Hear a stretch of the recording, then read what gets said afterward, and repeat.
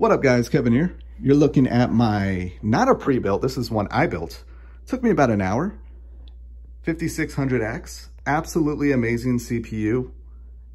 Quiet, just the stock cooler, and it's pretty quiet. There's an audible hum and great performance. Um, I think the highest it got was like 75 degrees, and that's playing like Yakuza Like a Dragon, uh, Dragon's Dogma, Witcher 3. Great CPU um, 6700 XT.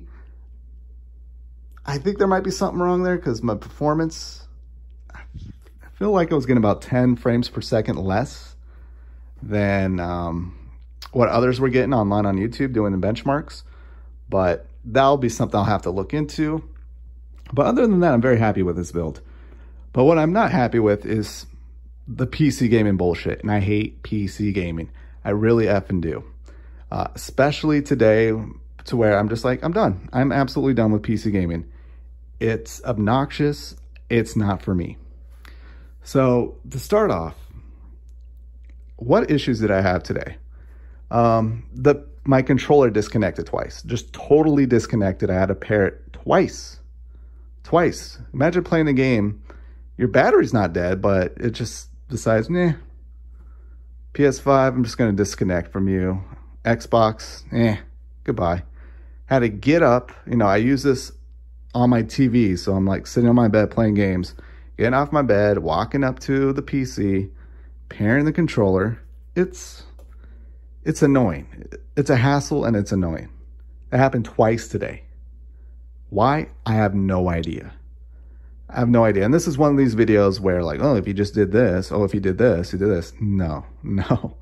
Um, any PC gamer out there who PC games for years on end who says they don't encounter these issues, they're lying. They're lying. Or basically what they're saying is, I love putting up with these issues. It's worth it to me, or I get a kick out of fixing these issues. Me, I don't. I work all day. When I come home, I just want a game. That's it. I don't want to deal with these issues. Um, second of all, and this happens to me a lot, I'll play a game, works perfectly fine, full screen, right resolution, um, right details, um, graphic wise. And then the next time I boot it up, it opens in a very weird resolution, like halfway off the screen, to the point where I can't even reach the options to change it. it happened with the Yakuza today. I'm like, um, it was like blown up and halfway off the screen, and I couldn't even get to the options. I had to restart it like five times and it like opened up in a very small window. I'm like, well, at least I can get to the options from here and then fix everything. Why does that happen? Why does that happen? There's no reason for it to happen. I changed the settings. I hit save. I saved the game. I quit. And then a day later when I come back, I'm like, huh? That PC gaming experience, huh? That's the experience there. Um, what else? The taskbar kept popping up for some reason today. And um, audio. The audio kept cutting out. I'm like, what the hell is going on? And now I did say how quiet this PC is. Compared to a PS5 and Series X, it is loud. It is loud. Um, I think all, I mean, is there a really, really quiet PC out there? I don't know. I'll give it up to the Series X and PS5. They are very quiet machines and Series S. Very quiet. Um, that I appreciate. But yeah, that's just my horrors just from today on PC gaming. And why I think PC gaming is,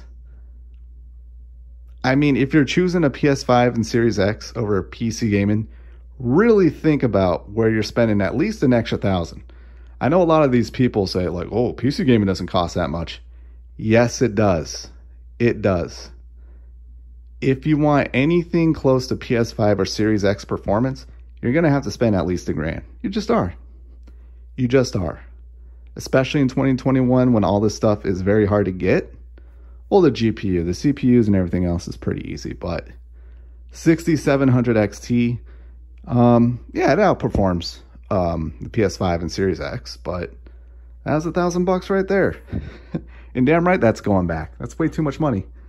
Um, it's just not worth it. To me, it's just not worth it. To you, it might be worth it. But if you don't have these issues, tell me what your secret is. Tell me what your secret is. I got everything installed up to date. I really think um, it's just not for me, or I just don't like putting up with this stuff. I just don't. And it's something I hear all the time from people who play on PC. I'm hearing all the time, like, man, I'm just going to get me a Series X or a PS5. They're there. PS5 and Series X can play games pretty close to 4K. And if not, they look, they still look pretty damn good. Uh, the HDR is way better on console as well. So even if it can't hit 4K or high resolution as it could on a PC, the HDR just makes the games just pop. That was one thing I noticed when I was playing Yakuza Like a Dragon when I was switching from um, my PC to the Series X. It's just, yeah, the PC has more detail, but like just on console, it's just, that console is made for television. This is made for everything. and when it's made for everything, it's made for nothing. And the detail's great, but if you were to take a like a quick glance at the Series X and then the PC, you would think the Series X looks better just by HDR alone.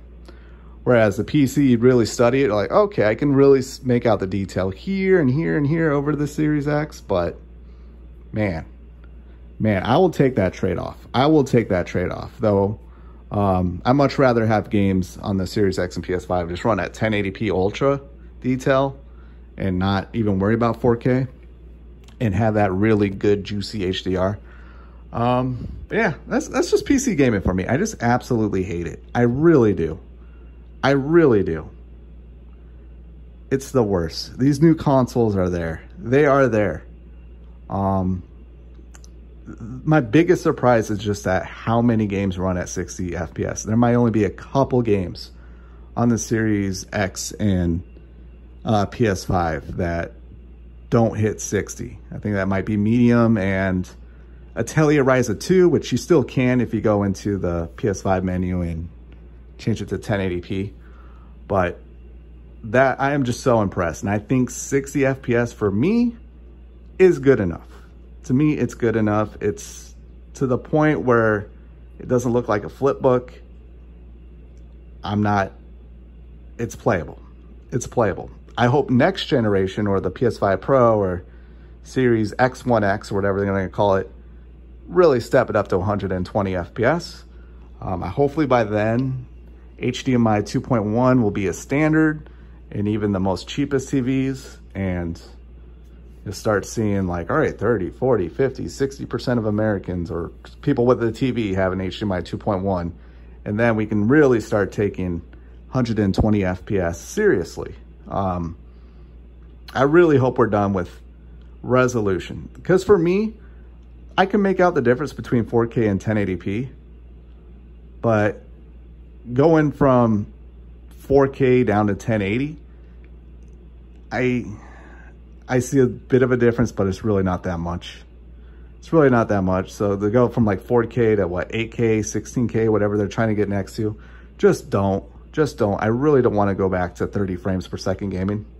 Because I know, especially Ubisoft, they would love to do that. They would love to make their games look really pretty in 16K, even if it means taking a hit on frames per second and not giving us that 4K 60 option anymore. but yeah, there you have it. I really hate PC gaming. I really do. I really do. Um, man, I think maybe Windows 10 has a lot to do with it. So I blame Microsoft. Microsoft, fuck you.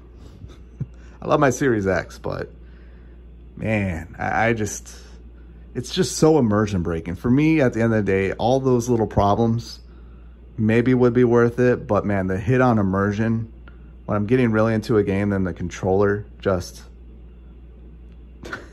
stops pairing.